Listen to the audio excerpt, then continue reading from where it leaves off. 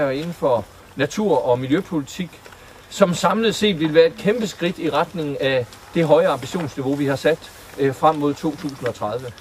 Som bekendt er øh, regeringen dannet på grundlag af en ambition om at reducere udledningen af drivhusgasser med 70 procent øh, inden 2030. Og med det finanslovsforslag, vi lægger frem i dag, så kan vi på en fuldt finansieret og ansvarlig måde komme et godt skridt i den rigtige retning. Danmark skal reducere sine drivhusgasser med 19 procent ud over det, øh, der allerede er besluttet i dag frem mod 2030, hvis vi skal nå de 70 procent. Og med det forslag, vi lægger på bordet i dag, så vil man med den slags forbehold, man skal tage for, for de analyser, så vil man kunne tage de første 7 procent. Altså tage beslutninger, der vil levere de første 7 procent af de 19, som Danmark mangler. Altså et kæmpe skridt fremad. Og øh, det vil vi gerne øh, fortælle lidt om, hvordan man gør, og derfor vil Ida sige lidt om det.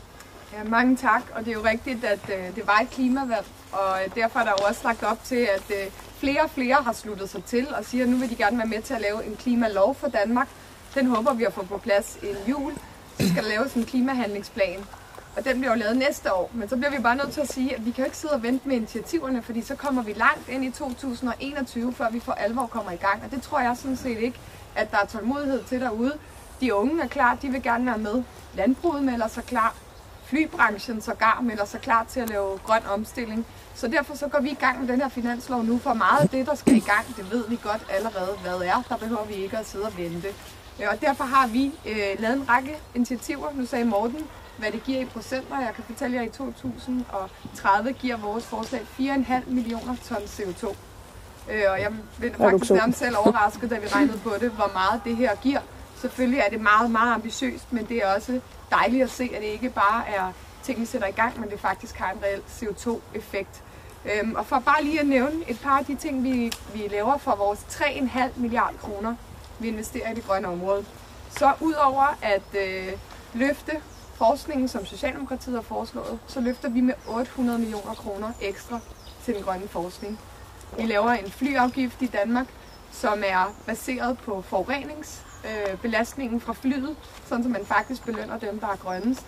Halvdelen af pengene går til yderligere til forskning øh, i flybrændstoffer, den anden halvdel går til at rejse skov i Danmark.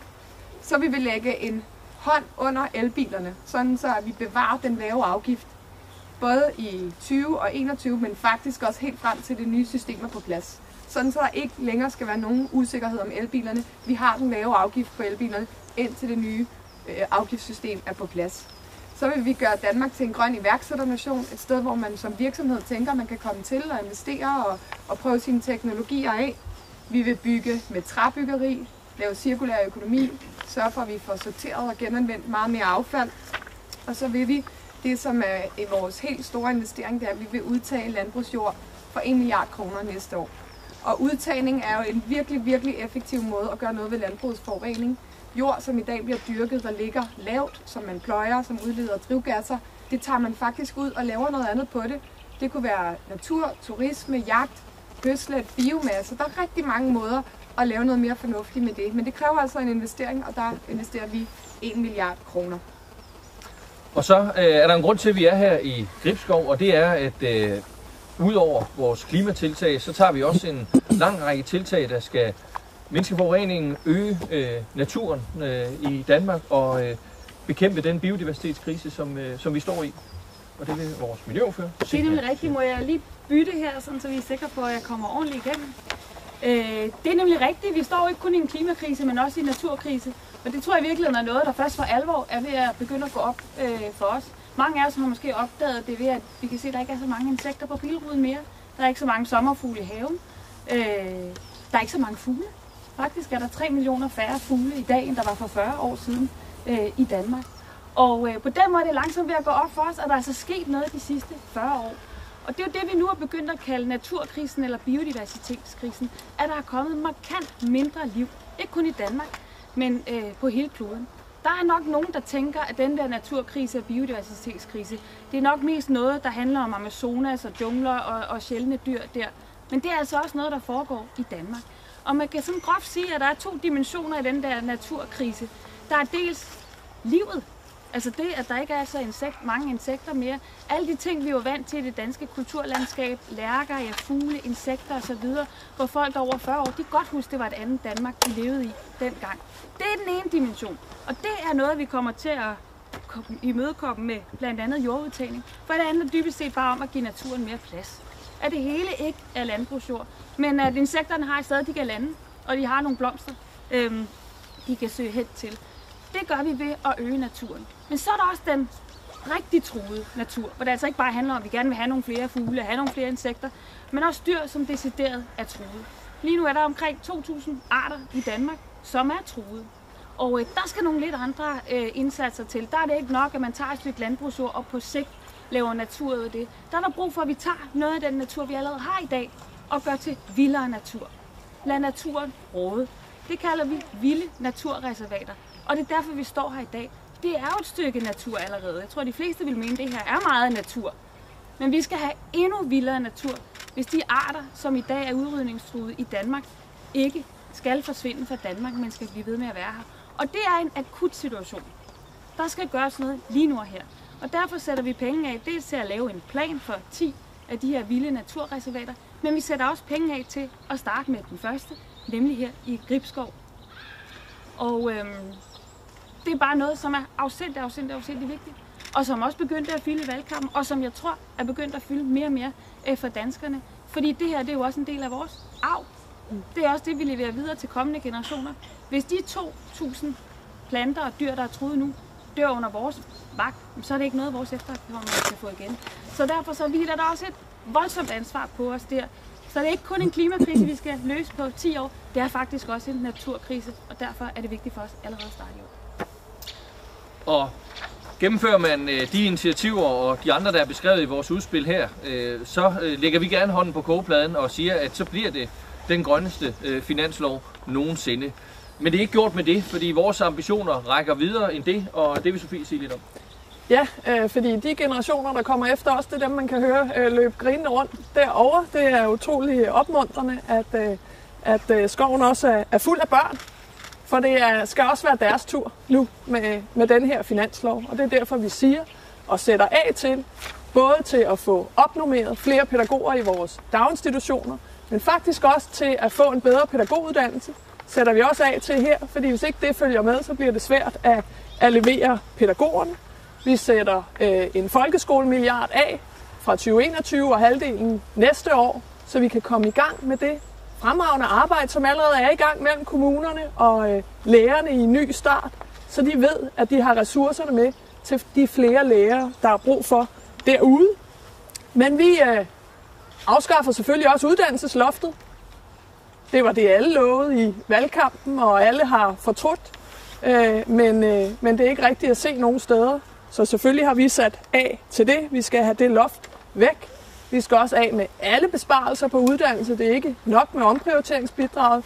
De universitetsuddannelser, der står over for en kæmpe nedskæring her 1. januar, skal vide, øh, at, øh, at det stopper. Vi ønsker også at styrke sprogfagene, som er nødlidende. Vi investerer i læreruddannelsen, så vi kan bygge kapacitet op der. Og så sætter vi samlet med de grønne øh, 800 millioner samlet 1 milliard ekstra af til forskningen, fordi det er derfra, at alle de nye idéer skal komme. Men sammen med det øh, skal der jo leveres en øh, ansvarlig økonomi.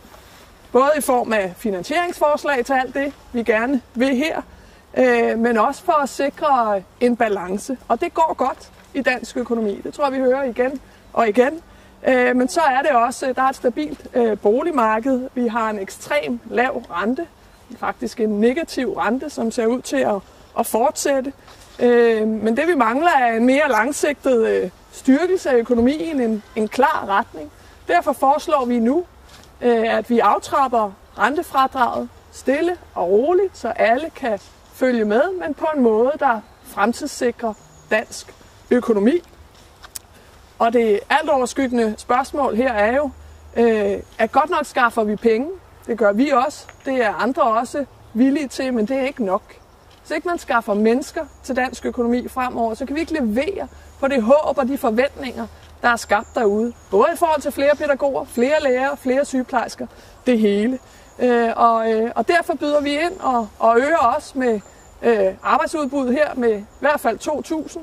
Øh, et øh, forhøjet, fordoblet faktisk øh, jobfradrag med dem med de allerlaveste indkomster og et forhøjet beskæftigelsesfradrag, så vi får flere mennesker ind i økonomien, fordi det er det, der er brug for, det er det virksomhederne efterspørger, og vi kan ikke levere på det, hvis ikke vi også leverer her. Og så har vi også brug for at øh, tage flere skridt i retning af mere sund fornuft i udlændingepolitikken. Vi foreslår øh, en afskaffelse af brugerbetalingen på dansk uddannelse, sådan at øh, vi kan få flere til hurtigere at lære dansk. Det er et stærkt ønske også fra erhvervslivet. Vi foreslår, øh, at øh, tolkegebyret i sundhedssektoren afskaffes efter et stærkt ønske både fra hospitalspersonalet og de regioner, der bruger flere penge på at administrere det, end, og, øh, end de får ind i øh, tolkegebyr. Øh, og vi foreslår at afskaffe bankgarantien for danskere med udenlandske ægtefælder, som også er dyrere for kommunerne at administrere end, øh, end indtægterne øh, fra den. Og det er bare nogle øh, eksempler på, at øh, det for os er afgørende, at vi nu tager de næste skridt. Med forståelsespapiret kom vi øh, i den rigtige retning og fik øh, vist, hvor vi skal hen af. Med finansloven skal vi tage øh, de næste skridt. Vi startede sæsonen her med at annoncere 15 konkrete mål, for, øh, som Radikale Venstre vil lade sig måle på i indeværende valgperiode, som handlede om at få CO2-udledningen nedbragt konkret, øh, mindre forurening, bedre beskyttelse af vores drikkevand, som handlede om at styrke børn og unges øh, trivsel, så man kunne se, at der var flere voksne i institutionerne, bedre tid øh, til lærerne, og som handlede om at få flere i arbejde, bedre integration, øget ligestilling. Og skridt for skridt vil man kunne se, at på alle de mål, så kan vi levere øh, fra håb til handling med det udspil, vi kommer øh, med i dag. Og nu starter forhandlingen så, og øh, vi har jo allerede været ude og pege på, hvor noget af finansieringen skal komme fra. Jeg tror egentlig, at øh, det, der er vigtigst nu, det er, at vi sammen med de andre partier, der er grundlaget for, at øh, Socialdemokraterne sidder i regering, at vi får fastholdt et højt øh, ambitionsniveau, så er jeg sikker på, at vi også kan finde veje frem. Øh, det vi i hvert fald har vist her, det er, at man behøver ikke at vælge mellem at satse på klima, natur og miljø, øh, børn og unge og en bumstærk økonomi. Man kan godt det hele på samme tid. Det er kun politisk vilje, der skal til. Og med det er vi klar til at svare på spørgsmål om det og nogle af alle de mange andre initiativer, der ligger på kultur, udenrigspolitik, lang række andre initiativer. Yes. Værsgo. Vi taler bare. Vi taler bare. Vi er ude i naturen. Det bliver noget også. øhm, nu nævnte du, Sofie Carsten Nielsen, sagde øget beskæftigelse med 2.000 personer. Så er det samlet set i hele jeres forslag et, arbejds, et øget arbejdsudbud på 2.000 personer? Ja. I har jo samtidig også sagt, at øh, hvis beskæftigelsen bliver svækket. Nogle steder så skal den hæves til sig andre steder. Har I en smertegrænse for, hvor meget beskæftigelsen som minimum skal øges med med en finanslov? Vi sætter ikke sådan nogle øh, helt præcise. Det her er vores bud på, øh, hvad vi kunne nå med et første skridt på den første finanslov. Vi skal jo øh, øge beskæftigelsen. Det, det, her, det er simpelthen en bunden opgave, at vi finder flere mennesker til dansk økonomi, for ellers så kan vi ikke levere på alle øh, de forventninger, der er skabt. Og det er måske ret vigtigt at få på plads, at uanset hvor mange penge vi fandt, så skal der flere mennesker til. Øh, fordi ellers så kan opgaverne simpelthen ikke løses. Så det her er et første skridt. Og så er der en lang række grønne afgifter i vores øh, forslag, øh, som har det til fælles, at de alle sammen bidrager til målet om at reducere udledningen af drivhusgasser. Øh, og ved at bruge nogle af de penge på at sænke skatten på arbejde, ja, så vinder vi altså både på den grønne omstilling og på at styrke økonomien. Og, øh, og det håber vi da, at der vil være lydhørhed overfor. Men det er jo i hvert fald en balance, man skal tage højde for. Man kan ikke kun øh, gøre, ville det ene og ikke det andet, hvis man også vil have en ansvarlig økonomisk politik. I forståelsespapiret, der skriver I, at det ikke nødvendigvis skal være samtidig, altså det er ikke nødvendigvis samtidig gå i nul. Men I har så efterfølgende jo gjort det klart, at I ikke vil støtte noget, hvor der svækker beskæftigelsen. Altså, er det et krav for jer, at der skal være et øget arbejdsudbud med, med en finanslov? Det er et krav for os, at økonomien hænger sammen. Mm. Øh, og hvis man vil øh, finansiere øh, en finanslov, så skal man også tage højde for øh, den præmis, du taler om der. Vi er vel stadigvæk jo der, hvor øh, øh, øh der ikke er sket nogen skade endnu, om jeg så må sige. Mm. Øh, og, og det, jeg har sagt, det er, at vi samler op finanslov for, øh, for finanslov. Vi ved jo godt, der er nogen, der øh, Øh, har forslag, som vil trække ganske mange ud af arbejdsmarkedet. Den diskussion øh, må jo så afvente, om, om det forslag nogensinde bliver til noget. Altså her tænker jeg på, på pensionsforslaget fra Socialdemokraterne. Men det, øh, vi jo taler om her, det er jo det helt grundlæggende, at øh, regeringen er dannet på ønsket om at øge beskæftigelsen i, øh, i Danmark øh, og skabe et øget rådrum, som vi kan investere i velfærd. Øh, og, og det er jo der, hvor vi synes, den sammensætning af øh, afgifter og skatter, som vi laver her, den, øh, den gør det. Øh, og, og der er vores pointe egentlig bare, at man kan jo ikke kun vil det ene, hvis det så ikke leverer på det andet, for så er det, at man kommer i, i problemer med, med den økonomiske politik, regeringen er dannet på. Så, øh, så det er mere sammenhængende og balancen, så må vi jo se, hvor langt vi kan komme. Det her, det kan bare lade sig gøre på en socialt ansvarlig måde, og hvor man giver øh, ja, øh, klimakampen et gevaldigt skub fremad. Men skal det så forstås som, at I vil ikke støtte en finanslov, hvor der ikke øger beskæftigelse? Det skal forstås sådan, at øh, vi står helt øh, på mål for forståelsespapiret. Man kan ikke bare tage tiltag, som vil svække beskæftigelsen, uden også så at modsvare det af andre øh, tiltag. For eksempel øh, et øget beskæftigelsesfradrag eller fordoblet øh, jobfradrag. Øh, og, og så vil vi selvfølgelig kæmpe for, at, øh, at vi også tager selvstændige initiativer, der kan gøre økonomien stærkere. Men øh, hvor langt vi kommer med det, det må forhandlingerne vise.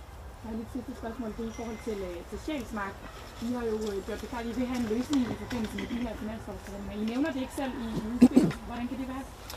Jamen, det er jo fordi, at øh, det, vi har sagt, det er, at når vi aftalte i sommer, at børnene skal ud af Sjælsmark, øh, så er det fordi børnene skal ud af Sjælsmark. Øh, og derfor sagde jeg jo for nogle uger siden, at øh, hvis ikke det spørgsmål var afklaret, inden vi gik i gang med forhand, uh, så ville det være første punkt på dagsordenen. Og det var det da vi mødtes i dag hos øh, Nikolaj Vammen, gjorde vi det klart, at øh, nu øh, har vi brug for, at regeringen kommer øh, på banen, at Socialdemokraterne får meldt ud, hvordan de vil løse det. Øh, vi står helt til rådighed for og, og, og kan sagtens finde en model for det. Men øh, vi kan jo konstatere, at der er afsat penge til en ny centerstruktur øh, i øh, Socialdemokraternes finanslovsudspil, og det er min klare forventning efter dagens møde, at der er en øh, snarlig afklaring på det spørgsmål. Ja, flere spørgsmål? Den her, øh, det her øgede bidrag fra den finansielle sektor, øh, og også noget Socialdemokratiet med. Øh, I vil bruge det til, til grøn omstilling og så videre. Øh, gør det ikke sværere at indgå en pensionsaftale med øh, Socialdemokratiet?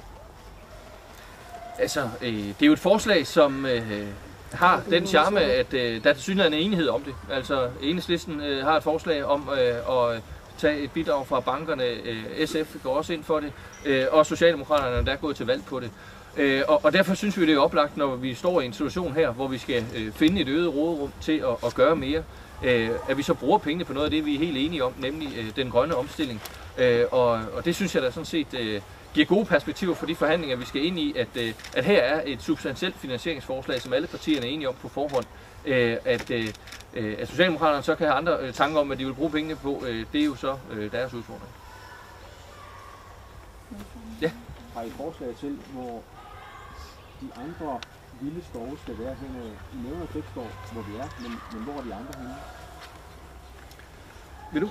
Det vil jeg gerne. Øh, vi har ikke sat øh, navn på dem. Øh, men noget af det, vi har fundet inspiration af, det er Rune Engelbrecht, som har lavet sådan en liste, hvor han faktisk foreslår endnu flere. Men det er jo det sådan et, en, en, et, et udvalg, der skal sidde og kigge på det. Og det, der ligger i, at vi altså også har sat penge af til, til selve planlægningen. Så vi kan ikke sætte navn på, på dem endnu. Men hvorfor kan I så sætte navn på Gribskov? Fordi det lå lige for. Ja, ja øh, og der var et øh, projekt klar, men vi har sådan set også i, øh, øh, i forbindelse med valgkampen kigget på øh, nogle områder rundt omkring, øh, som øh, mm. øh, et øh, Danmarkskort, hvor man kan hvor man kunne vælge øh, de områder, øh, men så skal der selvfølgelig være et substantielt arbejde for at være sikker på, at, øh, at det også er, øh, er der, vi lander. Men øh, vi sætter pengene af øh, til både at komme i gang øh, og til at få det undersøgt grundigt, øh, og så øh, øh, er det jo sådan set ikke i økonomisk forstand uoverstigelige summer, øh, der skal til. Øh, men til gengæld er det noget, der i naturpolitisk forstand kan gøre en kæmpe forskel. Ja. ja. Øh, udenlandsk arbejdskraft, der, der lægger I op til at sænke beløbsgrænsen. Det er jo noget, som hverken Socialdemokratiet eller SF eller Enhedslisten er specielt begejstret for. Tror I overhovedet, det er realistisk at komme igennem med en sænkning af beløbsgrænsen?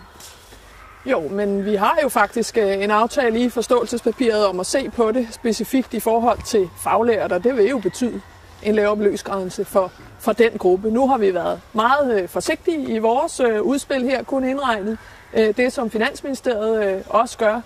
Og så derudover, hvis man virkelig ville noget, så har vi vist, at man faktisk kunne, kunne skabe en, en egentlig substantiel fremtidsfond, hvis man faktisk tog et skridt og øh, og øh, åbnede for, at, at flere, ligesom øh, virksomhederne efterspørger, udenlandsk arbejdskraft kunne komme til Danmark, så kunne man virkelig investere i forskning og uddannelse fremover ved at lade det føre over i sådan en fremtidsfond. I nævner en, reform af positivlisten. Har I selv nogen bud på, hvilke, præcis hvilke faggrupper I forestiller jer, der skulle åbne for? Jamen, der er jo efterspørgsel på alle faggrupper øh, derude nu. Øh, der er faktisk virksomheder, der står og mangler det hele, men det vi allerede har aftalt, er jo som minimum det, vi skal i gang med, nemlig ned til faglært niveau, at, at vi kan komme i gang med det. Ja, der hvor udfordringen øh, jo indimellem opstår, det er, at det vi i Danmark øh, har et øh, stolt tradition for vores erhvervsuddannelse og svendebreve, mm. og det hele ikke nødvendigvis modsvares af, øh, af, af tilsvarende uddannelsesstrukturer i udlandet. Og derfor er målet med reformen af positivlisten, det er, at det er jobfunktioner, mm. man kommer ind i. Så længe man udfylder et job som øh, til en overenskomstmæssig løn, der svarer til en faglært i Danmark, øh, så skal virksomhederne kunne hente folk ind, øh, for eksempel fra en fabrik, de har i udlandet, og som de kan fylde op med herhjemme, uden at der nødvendigvis skal en lang øh, proces med en øh, afklaring af øh, diplomer fra uddannelser, man øh, måske ikke har i de lande, de kommer fra. Ja, Godt. Jamen, øh, så siger vi øh, tak for opmærksomheden og står selvfølgelig til rådighed, og det gør øh, andre ordfører også. Vi er her alle sammen, som vi siger, øh, hvis, øh, hvis der er ønsker om uddybning af de enkelte øh, forslag. Det var fint herude.